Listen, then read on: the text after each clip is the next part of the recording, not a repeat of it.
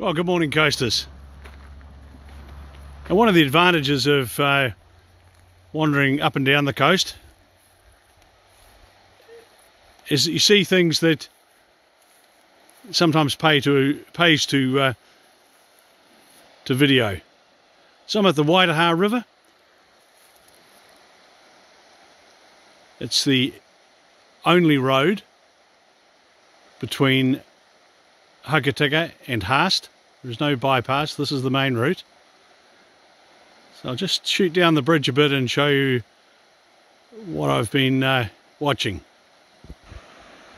So there's the south side of the river and where that car is coming on is the uh, abutment to the to the bridge. Now the river's had a few decent sized floods in it lately And so on the other side there, we've got a significant amount of erosion.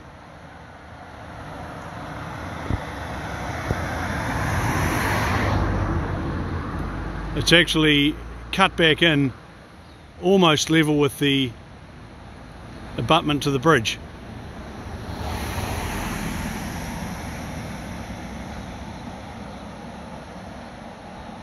So I'm hoping that the authorities are aware of the risk that this poses to us.